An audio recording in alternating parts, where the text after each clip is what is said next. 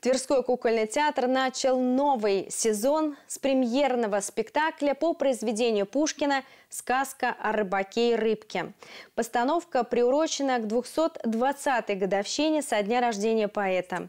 Сам театр в этом году отмечает свой 75-летний юбилей. Репертуар нового сезона включает в себя постановки для детей и спектакли для семейного просмотра. Сохраняя свои традиции, на сцене продемонстрируют постановки по произведениям из Золотого фонда российской и мировой литературы.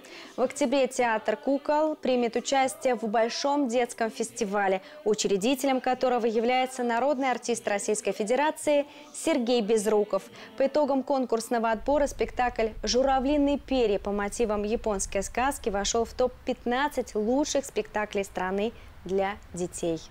Насыщенный будет сезон у нас, потому что, во-первых, нам исполнилось 75 лет со дня основания, и мы отмечаем наш юбилей, юбилей нашего коллектива. А, конечно, для зрителей это выразится в ярких спектаклях, в интересных постановках.